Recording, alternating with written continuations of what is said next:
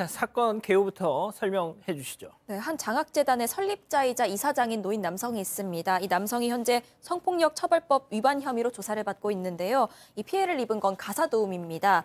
이사장이 지난해 10월에 이 피해자를 가사 도우미로 채용을 했습니다. 이후에 한 달이 넘는 기간 동안 서울, 부산, 창원 등에서 다섯 차례에 걸쳐서 유사 성행위를 강요한 혐의를 받고 있는 건데요.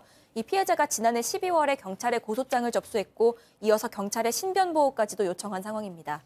자, 신변보호를 요청했을 정도면 무슨 일이 있긴 있었던 모양이에요. 그렇습니다. 당시에 이제 그 이사장이라는 분이 업무상 뭐 취행이라고 하는데 중요한 거는 피해자 변호인이 이런 말을 합니다. 그 이사장이 범행을 할 때에 피해자의 옷을 찢었나 봐요.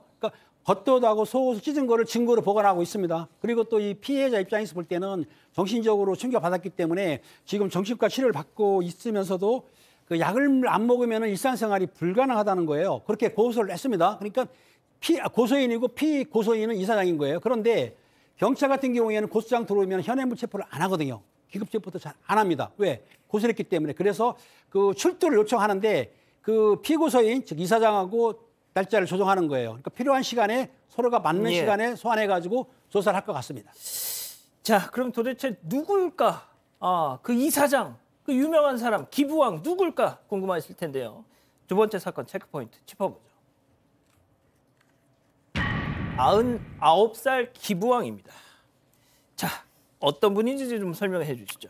사실 아까 뭐 교육재단을 설립했다고 하고 장학금을 냈다고 하는데 장학금 금액 놀라지 마십시오. 1조 5천억 정도를 기부했다라고 합니다. 그러니까 굉장히 어떤 미래의 어떤 인재를 양성하기 위한 굉장히 중요한 어, 활동을 했는 거죠. 그로 인해서 청와대에서 국민훈장까지 수여, 수상했다라고 하고 서울 유명한 대학교에 다시 600억 정도를 기부해서 보통 학교에 기부를 하면 그 사람의 호를 땁니다. 누구 누구 호 이래서 그 호를 땄는 어떤 그 내용도 만들었다고 하는데요. 어, 특정 화학 그 그룹의 창업자라고 하는데 아직 이제 수사가 진행 중이기 때문에 제가 요 정도까지만 설명드리도록 하겠습니다. 자, 뭐 과거에 뭐 당연히 유명하신 분이니까 그 인터뷰를 과거에 많이 하셨던데 좀 약간 어 인상적인 그런 그렇죠. 말씀들을 좀 하셨더라고요. 자, 주옥 같은 말들을 좀 해가지고 이게 좀 알려져 있긴 한데요. 지금 2002년도에 사재 한 3천억 정도를 하면서 교육재단을 설립했는데 이때 이런 얘기를 합니다. 자신의 아들이 조기 유학 갔다가 자폐증에 걸려서 좀 둘째 아들이 그러던 적이 있는데 자식한테 이루지 못했던 꿈들을 세계 1등의 인재의 꿈을 남의 자식을 통해서 이뤄보고 싶다. 이렇게 해서 많은 사람들이 아 좋구나라고 했었고요. 또 돈을 버는 데는 천사처럼 할 수 없어도 쓰는 데는 천사처럼 하련다라고 해서 이런 얘기를 어록을 남기면서 많은 분들이 관심을 가졌던 것입니다. 예. 자, 그런데 이제 저희가 좀 입장을 들어보기 위해서 연락을 취했는데 아, 팀장님 뭐 일단 답변을 들을 수가 없었다고는 해요. 근데 이걸 보도한 매체는 아, 그쪽 재단 측 관계자가 뭔가 얘기를 하긴 했더라고요. 그렇습니다. 이사장이 직접 그 뭐야 답변한 건 아니고요. 관계자가 답변을 했는데 뭐라고 했냐면 그 모 신문사와 통화 중에 뭐라고 했냐면은 그 이사장이 고소당한 거 사실에 관해서 아는 바가 없다라고 말을 했는데 설마 고소 사실이 있다 하더라도 그게 전부 사실이 아니다라고 말을 했어요. 그리고 뭐라고 했냐 또 했습니다. 뭐 돈을 얼마라도 얻을 수 얻을 수 있을까라고 하는 무리들이 있다는 거예요. 그렇기 때문에 그런 사- 무리들 때문에 이 사장님이 음해를 많이 받고 있다라는 주장을 했기 때문에 이 사건은 조사를 철저히 하게 되면은 내용을 알 수 있을 것 같습니다.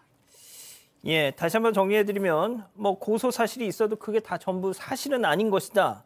또 돈을 얼마라도 좀 워낙 돈이 많은 우리 이사장님이니까 그걸 좀 어떻게 뜯어먹을 생각을 하는 일부의 무리들이 아, 로부터 음해를 받고 있다라고 이 재단 측 관계자는 언론 인터뷰를 통해서 반박을 하고 있다는데 자 모르겠습니다. 일단 뭐 재판 뭐 재판을 해봐야겠지만 현재 우리 어 99살 뭐 야 이러면 또 어떻게 고령 그렇죠. 뭐 이런 거 가만히 되는 거 아니에요? 뭐 예전 같으면 70세 이상이 고령으로 보거든요. 99살이면 뭐 이제 100살을 앞두고 있기 때문에 상당히 고령으로 봐야 되고 일단은 사실관계 확인은 할 겁니다. 뭐 성범죄이기 때문에 피해자의 진술이 매우 중요하고요. 확인을 한 다음에 처벌할지 말지 결정할 건데 고령 99세가 반영이 된다면 이게 뭐 실현까지 떨어질 수 있을지는 조금 지켜봐야 될 부분 같습니다. 알겠습니다. 자, 두 번째 사건 이렇게 정리하고요. 아직 안 끝났습니다. 이거 눌러주세요.